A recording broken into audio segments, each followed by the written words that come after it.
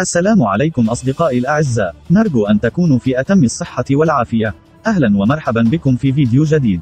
المخالب من الأجزاء الأساسية في جسم الحيوان، فلا تساعدهم المخالب في الدفاع عن أنفسهم فحسب، بل إنها مهمة أيضا للتغذية والبقاء على قيد الحياة.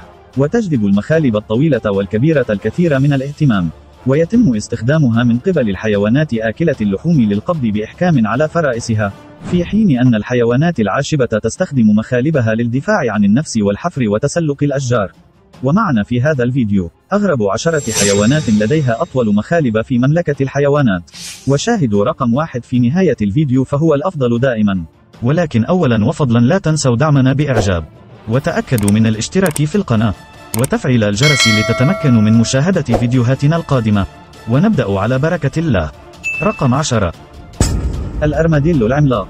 الأرماديلو العملاق هو أكبر الأنواع الحية من الأرماديلو بالرغم من أن أقاربها المنقرضة المسماة بلايبتودونتيس كانت أكبر بكثير وتعيش الأرماديلو في أمريكا الجنوبية وتتراوح جنوبا حتى شمال الأرجنتين وتمتلك هذه المدرعة حوالي 80 إلى 100 من الأسنان وهي أكثر من أي حيوان ثديي آخر كما أنها تمتلك مخالب أمامية طويلة للغاية. بما في ذلك مخلب ثالث على شكل منجل يصل طوله إلى 22 سنتيمترا.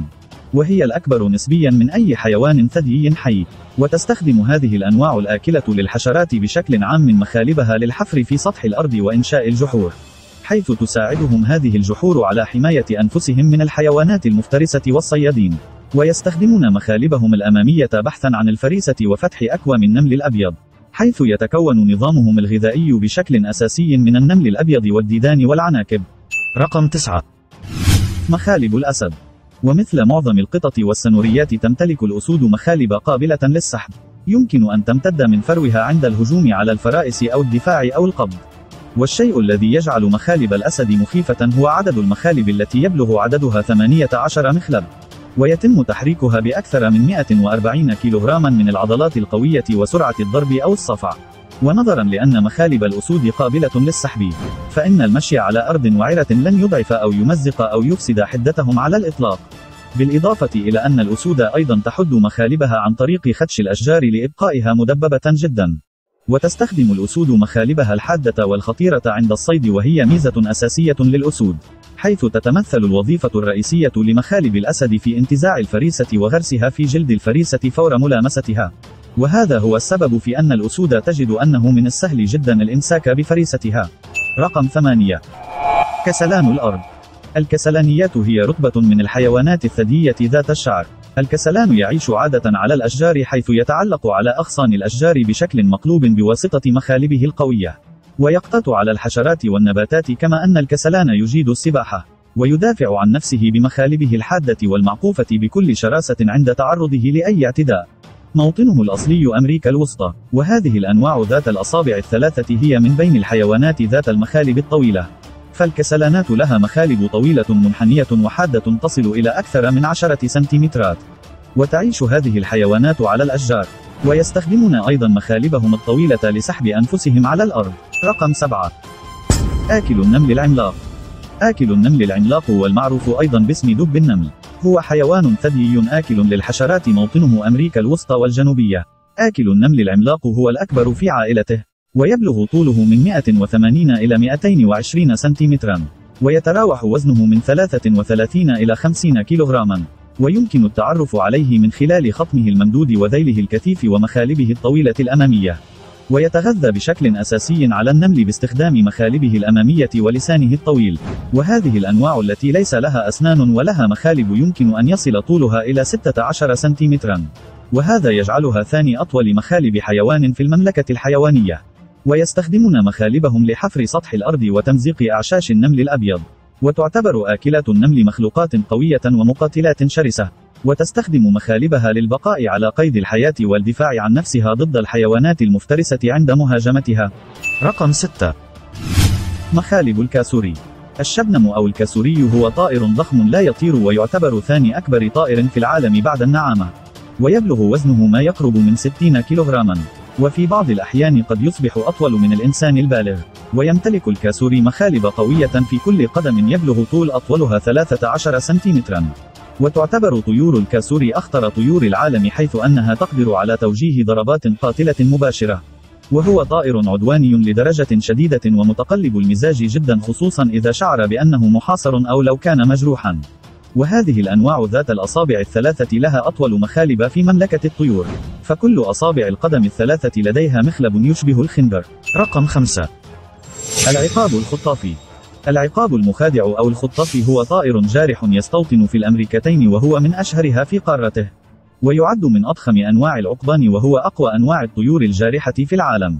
وهو طائر كبير ويعد من الطيور المفترسة القوية. ويزن أكثر من 9 كيلوغرام ويصل ارتفاعه إلى 90 سنتيمترا.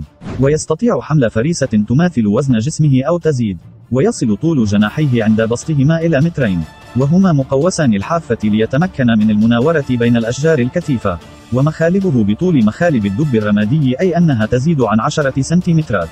وهي المخالب الأطول بين كل أنواع العقبان. وهو يقوم بالإطباق على فريسته بأقدامه بقوة تساوي ثلاثة أضعاف عضة الكلاب الألمانية. رقم أربعة. الدب الأشيب.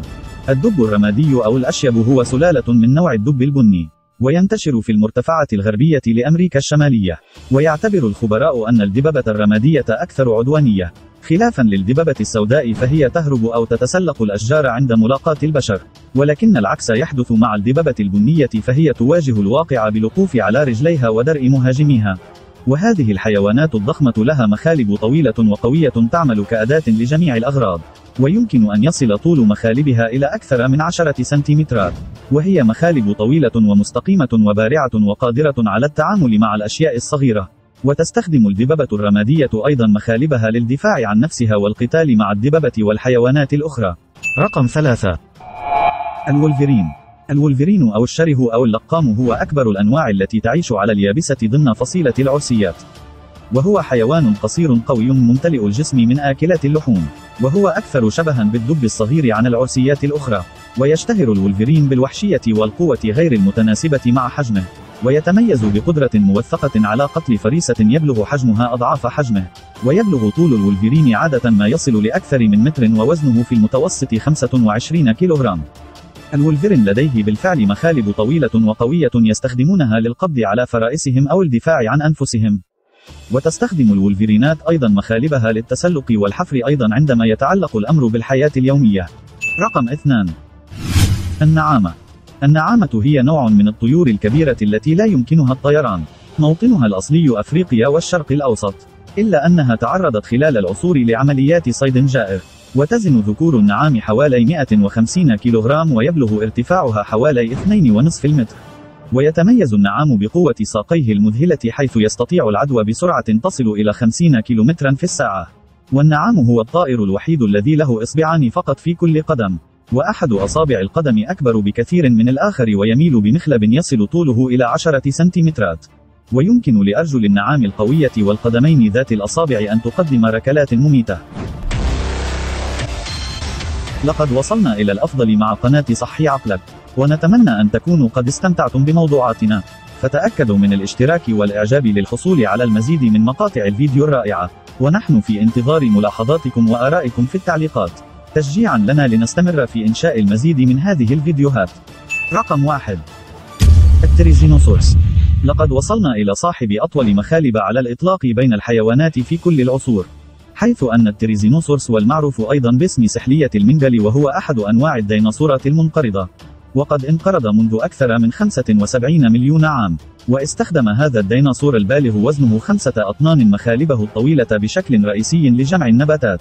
وكان لدى التريزينوسورس مخالبا يمكن أن يصل طولها إلى 90 سنتيمترا. وهو ما يقرب من خمسة أضعاف حجم مخالب الأرماديلو العملاق. ويعتقد بعض الخبراء أن التريزينوسورات كانت من الزواحف العاشبة. كما يعتقد آخرون أنها كانت من اللواحم وكان التريزينوسورس يمتلك مخالب بارزة وحادة في أرجلهم الأمامية. واستخدم التريزينوسورس مخالبه الطويلة أيضا للدفاع عن نفسها من الحيوانات المفترسة ويعتقد أنها كان لها أثرا بارزا لإخافة المفترسات القوية. شكرا لكم أعزائي على المشاهدة. تحية طيبة لكم جميعا. ونلتقي بكم في الفيديو القادم على خير بإذن الله. في أمان الله ورعايته.